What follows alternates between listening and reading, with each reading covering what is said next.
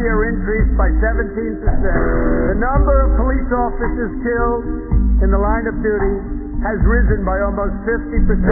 Nearly 180,000 illegal immigrants with criminal records ordered deported from our country are tonight roaming free to threaten peaceful citizens. Nearly four African American children are living in poverty. Two million more Latinos are in poverty today than when President Obama took his oath of office less than eight years ago.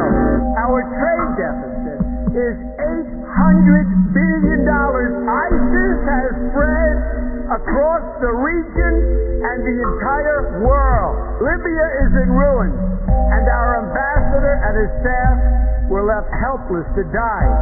Egypt was turned over to the radical Muslim Brotherhood, forcing the military to retake control. Iraq is in chaos.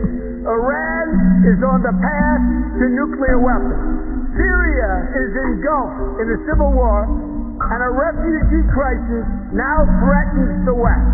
The situation is worse than it has ever been.